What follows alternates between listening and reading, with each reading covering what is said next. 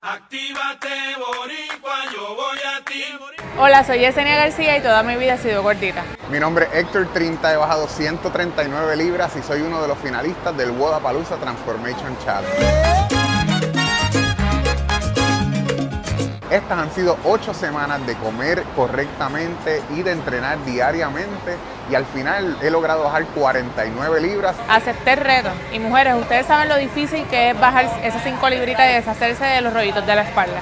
Y hoy por hoy llevo 68 libras menos. Gracias a ese esfuerzo, hoy soy parte de los finalistas de esta competencia que es a nivel internacional. Y Héctor y yo somos los únicos finalistas boricua.